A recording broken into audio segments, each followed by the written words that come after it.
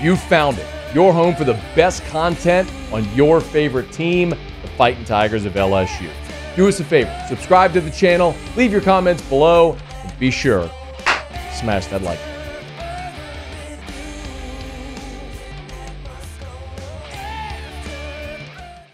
Kiper's big board is the top 25 prospects in the country. I don't think it's any surprise to anyone that he's got Caleb Williams ranked number one overall on his big board, and I, I can't see anything changing that between now and the draft. Caleb Williams has kind of been that consensus top prospect that uh, everybody is sort of vying for here at the top of the draft. So uh, Mel Kiper's got Caleb Williams number one on his big board, and um, he's got Marvin Harrison Jr. number two, and then Drake Maye number three. That actually kind of falls in line with what we've seen with a lot of mock drafts here of late.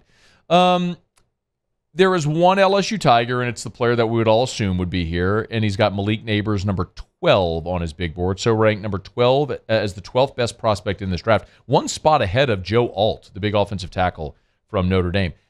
The biggest surprise on this list is who comes in at number 16. How about the name Landon Jackson? Uh, Landon Jackson, of course, who we had a great chance to talk to at SEC Media Days. I got to do a one on one with Landon. Landon is from Texarkana, who started his career at LSU, tore his ACL, unfortunately, and um, it never really materialized here. He transferred to Arkansas and has had a fantastic season. He had three and a half sacks in their game against Alabama in week seven. So, uh, Landon Jackson has seen his star elevated. The interesting thing about Landon, I remember, is talking to coaches at the time, was that he was just, he was, he's such a big guy, like 6'7, 280, but he's very stiff. So, not a guy that was ever going to bend the edge, but more of a big end. But if you're looking in a 3 4 for that traditional sort of like big end where like Ali Gaye played a year ago, that's um that could be a spot for Landon Jackson. But you wish he's a great young guy, man. So you wish the best for him. So glad to see that. So Kiper also ranks the top 10 players at every position. And there's only three LSU players. He's got Malik Nabers as the fourth best wide receiver. Mekhi Wingo is the seventh best defensive tackle. And Jayden Daniels as the eighth best quarterback. This is the thing that surprises me. And I, I hope this isn't a purple and gold sunglasses take. But at some point, you have to start to trust what you see on film. And it can't be what your preconceived notions were. The best example that I can give that's relevant here is Joe Burrow, of course. And I'm please don't misunderstand me. I'm not saying that Jayden Daniels is Joe Burrow, but here's the point I'm making. And I remember this because we talked about this a lot before that 2020 draft where Burrow went number one.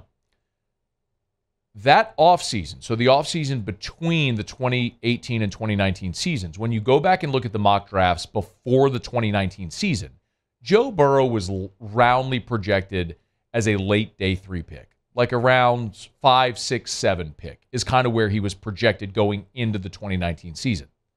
Well, he ends up going first overall. Why? Because you saw what he did in 2019. He was spectacular in every sense, not only at, with his accuracy, with his arm strength, with his decision making, his toughness, his leadership, his, the intangibles, everything was there. You saw it.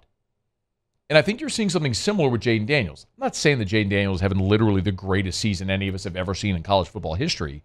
But what I'm saying is we're seeing a guy that is far outperforming what the the the projections were for him as as a rising fifth year player.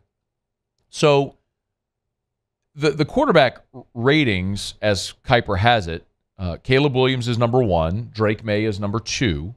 Shedeur Sanders, Michael Penix, Bo Nix, J.J. McCarthy, Quinn Ewers, then Jayden Daniels, Riley, Riley Leonard, Michael Pratt. I can understand why Caleb Williams and Drake Maye would be number one and two. Because when you're you're looking at prospects and you're projecting to the next level, there are certain things you're looking for as far as measurables. And there are going to be guys that go at the top of any draft because of those measurables. Mitchell Trubisky is a great example of that.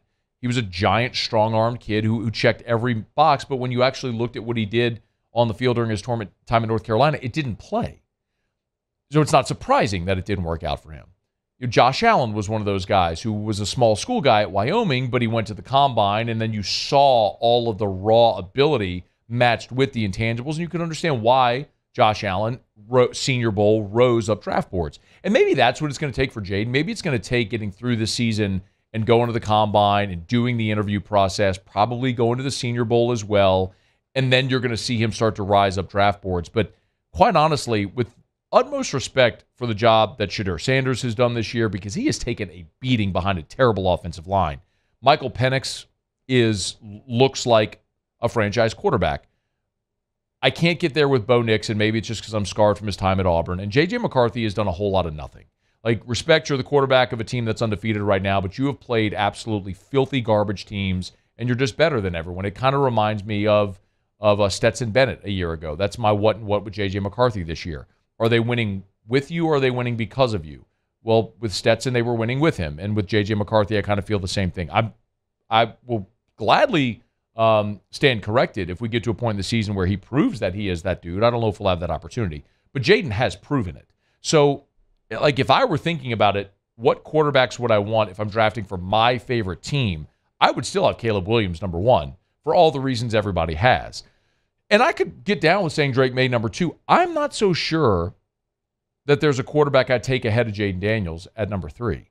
Um, I think Shedeur Sanders is fantastic. I would love to have seen him done it for more than just this one sort of eh, half season at Colorado.